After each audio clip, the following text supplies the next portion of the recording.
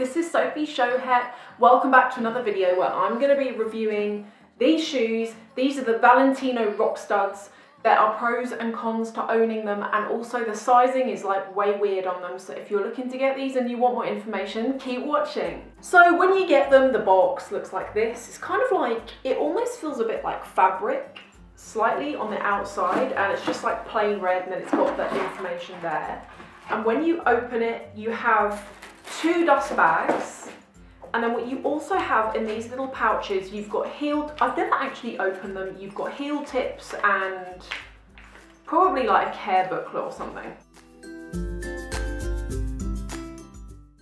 And then when you open up the bag, the box, you have the shoe. So I wanted to go for a really classic version of this shoe. I was torn at the time between do I go for a colour and do I go or do I go for the nude and the black. In the end, or the nude or the black I mean to say, in the end I went for the black patent and I'm actually glad I did because it goes with a lot of stuff. I'm also really glad that I got the patent. Here is why. The leather on this shoe, like the leather that all goes around the kind of the T strap there, it's so, so, so delicate. I can't even tell you. So the first time I got these, I wore them out to lunch and I pretty much went from my house to the car, to the table in the restaurant and back to the car and back home. And I'm gonna show you some close-ups, but around the heel there, pretty much where I was just sitting at the table, all of the top layer of the leather has worn off. So normally the leather is like a slightly mauvey nude color, and you can see that the colors come off and it's like a much lighter color. So I'm as soon as I saw that, I was really annoyed. The first time I'd worn it, I, it wasn't even like I'd driven in them, which normally does like damage the back of the shoe there. It was like the first time wearing it and they'd all rubbed off around there. So that is really annoying and I, and I remember being really pleased that I didn't get the all over non-patent pair because of that because the all over non-patent pair from what I've seen of them, the leather is like the same texture as the soft leather that's around that T section there. So I'm really glad I didn't get that. If anyone's got the full-on non-patent versions and that doesn't happen, then please let me know. I picked these up last summer, that was 2015. At the time, they were around about 620 pounds. I think they've gone up a little bit since then. They're like, I feel like they're 650 pounds or something, but they were 620 at the time pretty much everywhere. You couldn't get them anywhere less than that. I went onto Farfetch to buy them. Farfetch is a really good website. I buy so much stuff on there. For anyone who's not familiar with it, pretty much the way it works is that you would go on there and you'd search whatever, whatever it is that you want, so Valentino rock and it will come up with all of these different pairs of shoes that are being sold by little independent boutiques who otherwise wouldn't have a web presence. So that's kind of the way it works. The benefit to it is First of all, Farfetch every so often have got like release coupons so you can get discounts off, but also here is the good thing. When I bought these shoes, they were from a boutique on the continent in Paris, I think, who had them listed in euro. Euro at the time was doing really badly, so when it converted to pound sterling, I made a saving already before I'd even done anything. I remember these should have been 620 pounds, and I seem to remember they were like 520. I remember getting like a like at least 100 pounds off. Then on top of that, I got an additional 10% off because with Farfetch, the first time you make a purchase on there, you get a 10% off coupon.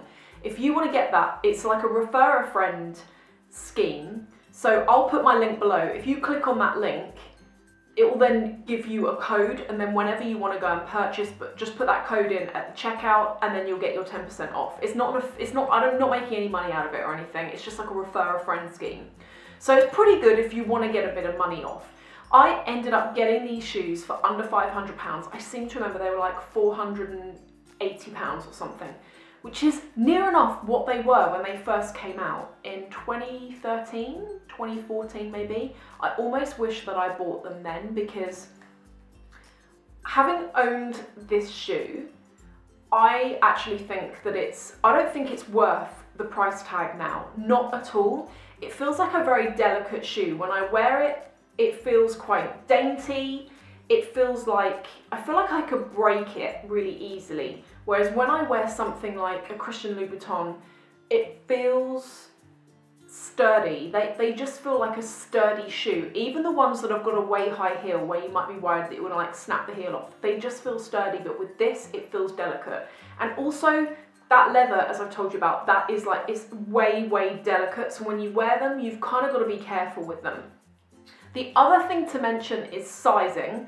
These are like a really weird sizing. When I purchased these, because I was getting them on the internet and I wasn't going to be able to try them on, I didn't really know what size to go for. The way the way I tend to find my sizing goes is I'm always a 39 European in non-designer and I'm pretty much always a 39 and a half in designer. So I was going to get the 39 and a half, but then I'd heard that these are small to size. So I just like I just went for it. I got the size 40. I'm rarely a size 40. They turned up and even these are a little bit small, but I get away with it because obviously it's not like an enclosed heel. So guys, when you get these, definitely get one entire size up. And in fact, when I got them, I unboxed them and the first thing I thought is, thank God, you know, normally a size 40 looks big, but it doesn't actually look like a size 40. It just looks like, it looks like a 39. Um, so they do definitely run small. The other thing is, is you know normally on a sling back or whatever, you have a little bit of elastic on the back there. So if it is a little bit tight, it doesn't matter, it kind of gives, you don't have that on this. There's no elastic on there at all. And even where the buckle is on a lot of sling back shoes, you get a tiny little piece of elastic there so it stretches.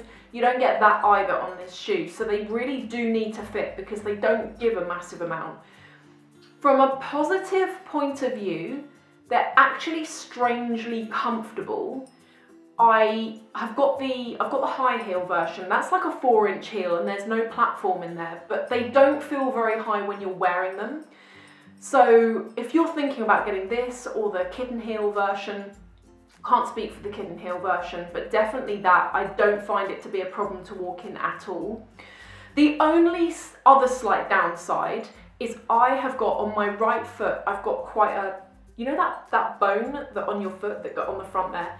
I find that that presses down on it, but only on my right foot. On my left foot, which is slightly smaller, it's fine. So again, if you've got like a high, what is, that's not an instep, you know what I mean? Like a high bit there on your foot, you might wanna size up again because this leather doesn't stretch massively.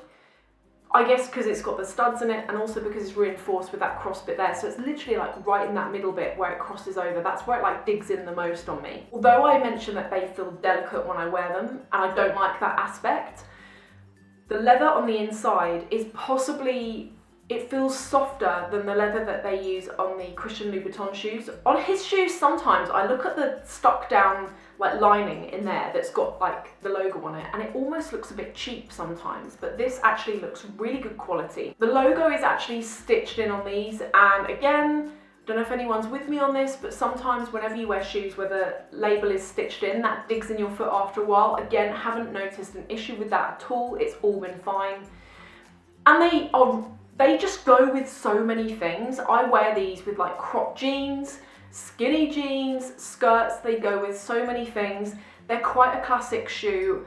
I, I that, that's the thing though, I do think with the price, I don't think they're worth it. And although I would like another pair in the nude colour, patent, I would not, a thousand percent, I'm not going to be going and spending over £600 on them because I don't think they're worth it. What I would probably do is maybe if the euro went down again and I could pick them up on Farfetch for around about the four, 500 mark, I'd possibly do it. Even 500, I wouldn't pay for, pay for these. Not when you can get a really decent Christian Louboutin for 425. I don't think they're worth 600.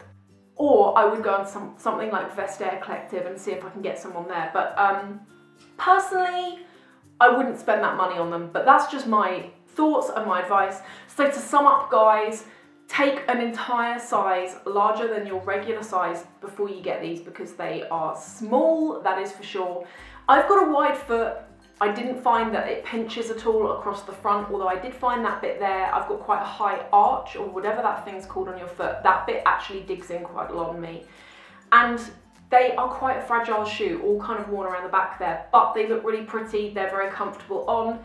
They, the, Apart from that rubbing thing, the quality of the leather all feels really good, so I'm happy from that perspective, but I don't think they're worth over 600 pounds, just no way. I hope that this has helped you if you are looking to get the shoe online and you just wanted some information on it. If you like Lux videos, then definitely subscribe because I do loads of these. Come and join me in the next video. I'm going to link to it. It's going to be there and I'll see you in five.